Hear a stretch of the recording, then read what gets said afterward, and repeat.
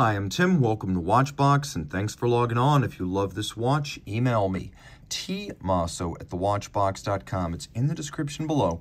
It is your purchase and pricing email question line for buying this or any watch you see on any Watchbox platform. Please reach out to me directly. Email tmosso at thewatchbox.com for pricing. Today, we're discussing a watch launched in 2014.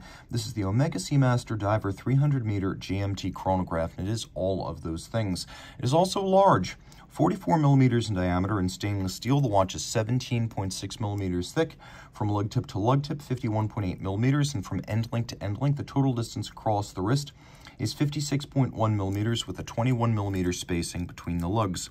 We'll pop open the clasp, throw this watch on my 16 centimeter circumference wrist, and I'm going to recommend your wrist be larger than mine. If you're going to wear this watch, I think it's appropriate to have a wrist of 17 centimeters circumference, but I'll let you be the judge, taking a look at the sizing and the fit, including down the barrel and over the top. The cuff shot, however, reveals that you're going to need a jacket cuff to surmount that case flank. A shirt sleeve is probably not going to get it done. It is massive, and you can feel the heft and the substance. This watch feels like it's indestructible, like it must cost forty, fifty thousand dollars. It's very impressive. Omega watches have been quite thick in recent years as they lard on complications and capability, but in return, there's also a kind of solidity unheard of in the Omegas of the 90s and 2000s and profoundly impressive in the hand. We have a bracelet here that is similar to the one that's been on the model line since 1993, but it's more sporty today. As you can see, the shoulder links are more squared off than rolled. We do have some polished intermediates that creates a little bit of a dress watch, sports watch hybrid appearance. And then we have removable links fixed by screws, a big upgrade over the previous generations, which would have had removable links fixed by pins and sleeves. You can also see intermediate sized links in there in case you find yourself in between sizes when sizing the bracelet. There is a fold out dive extension milled from the solid, quite redoubtable, and then a thick gauge steel single fold deployant clasp with twin trigger release. Taking a look at the profile, we have Chronograph pushers that look like they might be screw downs but aren't. The watch is still 300 meters water resistant, but those little coined shoulders are not screw downs. Actually, you can activate this chronograph at any time without having to screw in or out chronograph shoulders.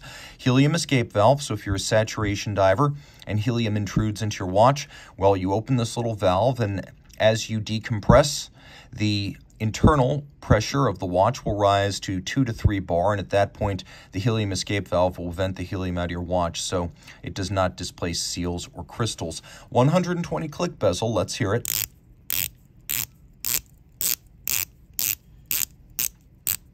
These big diver 300 meters have some of the best bezel feel of any diver 300 meter, and part of that is that we have a larger diameter bezel that allows more mechanical advantage when turning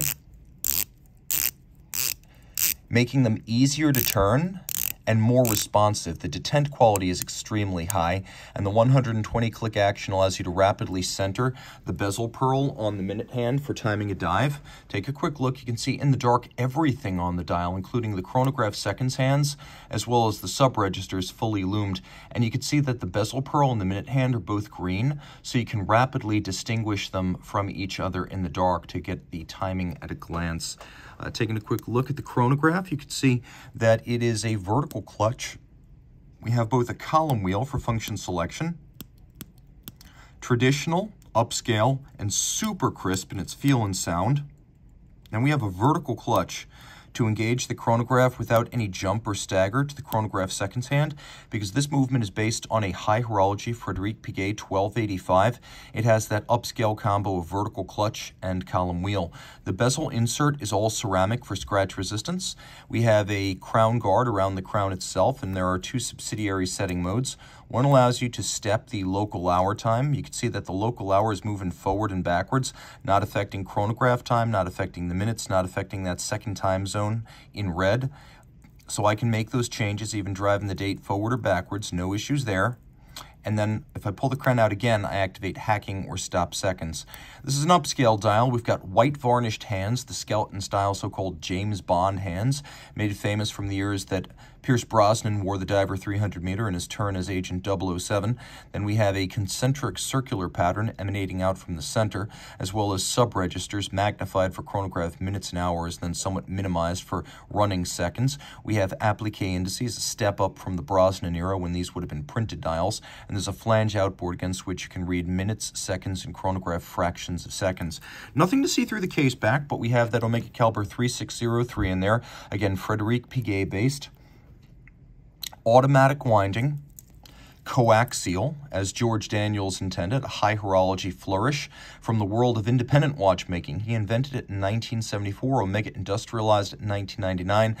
Today, it allows these watches to achieve greater intervals between services, improved power reserve, and improved chronometry. And again, this is a COSC certified Swiss chronometer adjusted in five positions. It also has an automatic winding 52 hour power reserve. It has a free sprung balance for greater precision of adjustment and shock tolerance. It's a 37 jewel high horology movement with that tandem of the vertical clutch and the column wheel and all of this water resistant down to 300 meters with helium escape valve. Reach out to T. Mosso at thewatchbox.com for purchase and pricing details.